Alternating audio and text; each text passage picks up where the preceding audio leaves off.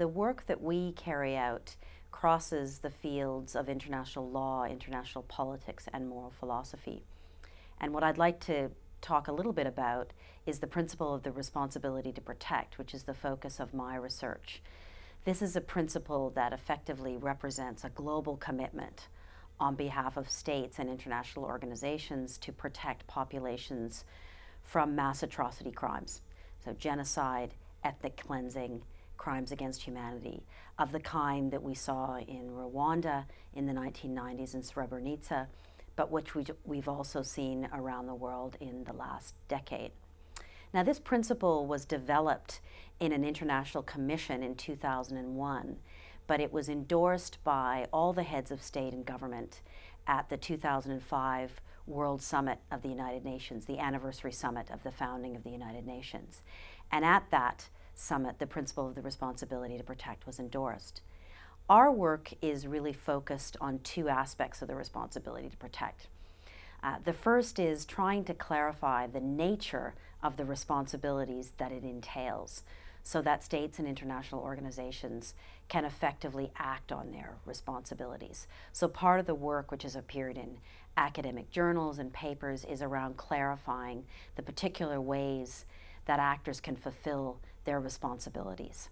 Uh, but more specifically, I've been engaged in a project um, funded by the Australian government uh, and its Responsibility to Protect Fund, where we've been trying to assess the most effective strategies for the prevention of these atrocity crimes.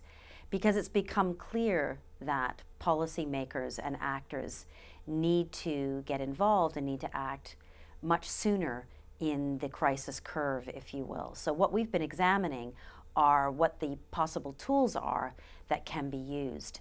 And our project looked at a number of case studies that help us to discern um, those strategies.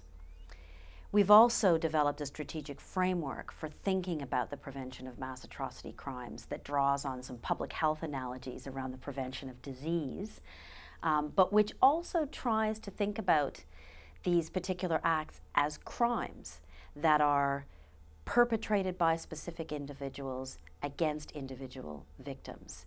And that framework for thinking about them as crimes is really very different from the past way that we've looked at these situations uh, in international politics. International politics has been a state based activity.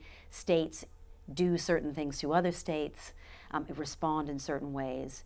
But when you begin to look at mass atrocity crimes, we have to rethink those tools and rethink how we can act in ways that will deter uh, particular individuals from committing certain kinds of crimes. So that's been the nature of our research. Our framework has been a really iterative process, and so we've engaged with policymakers who are directly involved in advancing the responsibility to protect principle and enhancing states' capacities to act on it. For example, the Office of the Special Advisor on the Prevention of Genocide uh, in the United Nations has developed a framework for analysis for preventing these crimes. We've been involved in meetings with his office in helping to refine his approach to it, but also in the process to improving our analysis. There's also a special advisor of the UN Secretary General on the responsibility to protect, Edward Luck, who we've worked closely with.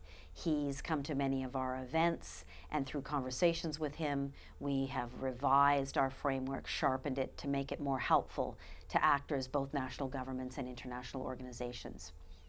We've also held a series of meetings around the world to try to get a regional perspective on advancing the principle of the responsibility to protect.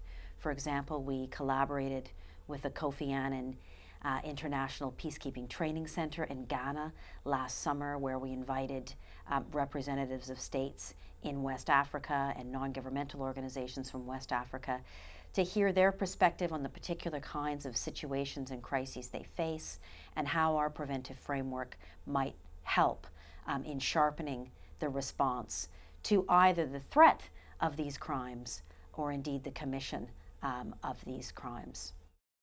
The responsibility to protect is a commitment on behalf of states and international organizations to act. But in order for them to act on that responsibility, they need to have better knowledge about what kinds of actions work and are effective, and about the situations in which tools might be effective. Our research is designed precisely to enhance that knowledge and that capacity so that events like a genocide or an ethnic cleansing will not happen again. We often heard after the Rwandan genocide, never again, never again. And the spirit of our work is to ensure that that never again is a reality.